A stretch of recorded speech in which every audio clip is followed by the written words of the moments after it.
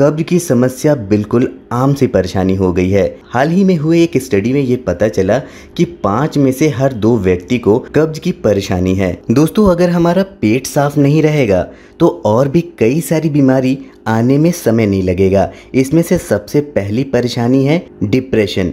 यानी कि जिन लोगों का पेट साफ़ नहीं होगा, उन्हें डिप्रेशन अपने आप हो ही जाएगा। लेकिन घबराइए नहीं, आज की इस वीडियो में मैं आपको कुछ बेहद ही आसान से घरेलू नुस्खे बताऊँगा, जिसका प्रयोग करके आप कब्ज जैसी समस्या को चुटकियों में दूर कर सकते हैं। तो दोस्तों, आइए जानते हैं कि इस नुस्खे को बनाना कैसे है।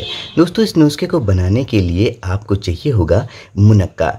जी हाँ दोस्तों, मुनक्के को कुछ जगहों पर काली किशमिश भी बोलते हैं। दोस्तों, मुनक्के का प्रयोग आपको यहाँ पे करना होगा। दोस्तों, मुनक्के के सेवन से कब्ज बड़ी ही तेज़ी से दूर होता है। कई रिसर्च में भी ये पाया गया है कि मुनक्के का प्रयोग कब्ज को दूर करने की एक बहुत ही रामबाण औषधि की तरह काम करता है। दोस्तों, यहाँ पे आपको लगभग दस मुनक्के का प्रयोग करना है। इस तरीके से आपको लगभग दस मुनक्के ले लेने होंगे और इसे रात में सोने से पहले एक कप पानी में भिगो करके रख देना है। सुबह जब आप सो करके उठेंगे तो आपको ये मुनक्के कुछ इस तरीके से दिखेंगे। दोस्तों सुबह सुबह बिल्कुल खाली पेट आपको इस मुनक्के वाले पानी को पी लेना है। इसके बाद इन बचे हुए मुनक्कों को आपको एक कप दूध में डाल लेना होगा। इस तरीके से आप एक कप दूध ले लेंगे और इसमें इन बचे हुए मुनक्कों को इस तरीके से आपको इन मुनक्कों को इसमें दूध में डाल लेना होगा। दोस्तों, ध्यान रखिएगा कि दूध ज़्यादा गर्म नहीं होना चाहिए। दूध हल्का सा ठंडा ही रहना चाहिए। इस तरीके से आप इन मुनक्कों को इसमें डाल लेंगे। इसे अच्छी तरीके से मिक्स कर लेंगे या फिर 10 से 15 मिनट के लिए इसे ऐसे ही दूध में भीगने के लिए छोड़ देंगे।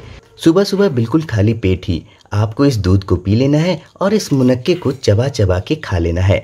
इससे आपका पेट बिल्कुल सुबह सुबह ही पूरी तरीके से साफ़ हो जाएगा।